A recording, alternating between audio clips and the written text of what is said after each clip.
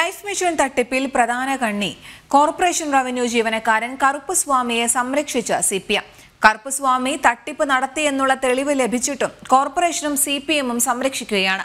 വകുപ്പ് തല അന്വേഷണം പോലും പ്രഖ്യാപിക്കാതെയാണ് കോർപ്പറേഷന്റെ ഈ സംരക്ഷണം.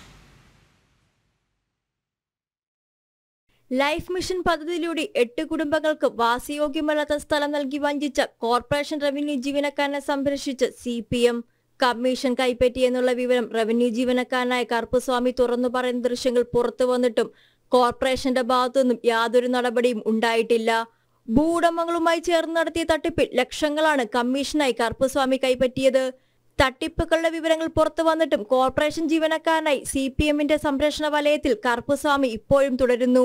തട്ടിപ്പിനെ കുറിച്ച് യാതൊരു വിവരവും അറിയാത്ത ഭാവത്തിലാണ് പാർട്ടി നേതൃത്വം അഞ്ചു പേർ ചേർന്നാണ് കമ്മീഷൻ കൈപ്പറ്റിയതെന്നുള്ള വിവരം കറുപ്പസ്വാമി പറയുന്ന ദൃശ്യങ്ങളാണ് ആദ്യം പുറത്തുവരുന്നത്. ബി ജെ പി സംസ്ഥാന അംഗം സതീഷ് പാറന്നൂറാണ് ദൃശ്യങ്ങൾ പുറത്തുവിട്ടത്. ഇതോടെ കറുപ്പസ്വാമി തട്ടിപ്പിന്റെ പ്രധാന കണ്ണിയായ ഭൂടമ്മ ജോസിനെ വിളിച്ച് സതീഷ് പാറന്നൂറുമായി സംസാരിക്കണമെന്നും പ്രശ്നം പരിഹരിക്കണമെന്നും ആവശ്യപ്പെടുന്ന ദൃശ്യവും പുറത്തു വന്നതാണ്.